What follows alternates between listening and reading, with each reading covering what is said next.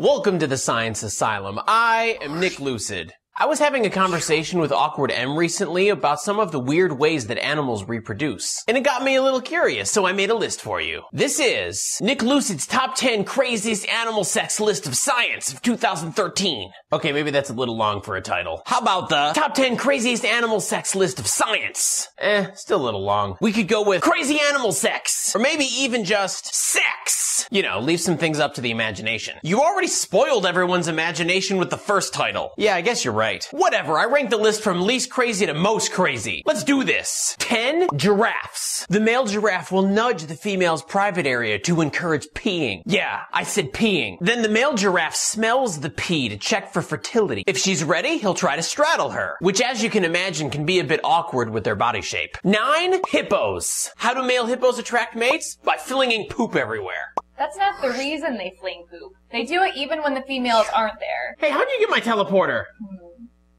Alright, so it's more likely they're flinging poop to show off to other males. It's called a power display. Human males do it too. Actual studies have shown that the more males that are sitting at a table together, the more likely it is that they're gonna have their cell phones out too.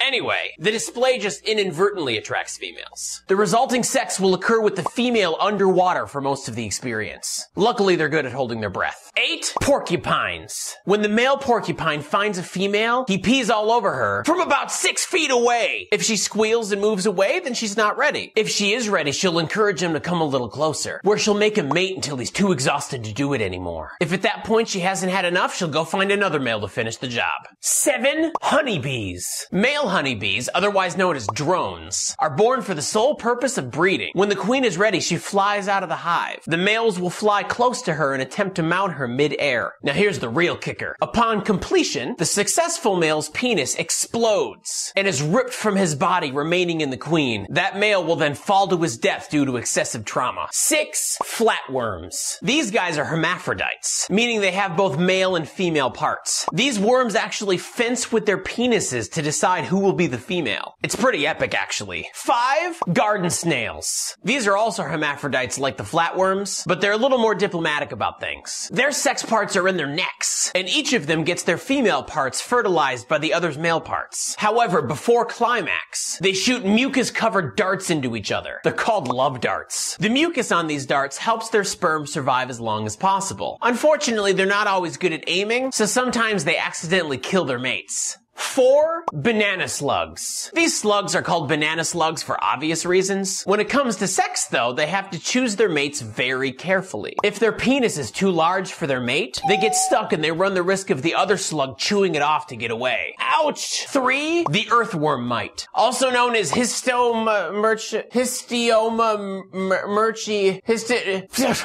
It's right there. This is a mite that lives and breeds in the cocoons of earthworms. The female mite doesn't have time to wait around for a male to show up. So she gives birth to several of them herself asexually. It's called parthenogenesis. Those males grow up to fertile adults in only a couple of days. At that point, the female immediately mates with them before they die of old age. And she is now pregnant with females. Two anglerfish. These deep sea fish are insanely crazy. The one you're seeing right now is a female, and she happens to be very adept at luring in food with her dangling glow ball. Male anglerfish, on the other hand, are much smaller and not very good at finding food. What they are good at is finding a female. When they do find one, they bite her side and latch on like parasites. Those males will no longer have to worry about finding food because their bodies and internal organs slowly fuse with the females, and they just live off her bodily fluids fluids. Now appearing almost like an extra fin on the female, the males provide an easy source of sperm for her to use whenever she's ready to give birth. WTF nature! And lastly, the number one craziest of them all, bed bugs. The female bed bug has parts for birthing, but not for sex. When a female is ready for breeding, she finds an unsuspecting sleeping victim and drinks her fill of blood. She then returns to the rest of the bed bugs, and the males violently rape her abdomen with their sharp penises. Peni? Eh,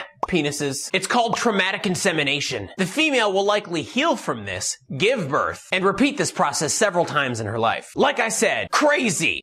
So what's the craziest mating habit you've ever heard of? Please share in the comments. And until next time, remember, it's okay to be a little crazy.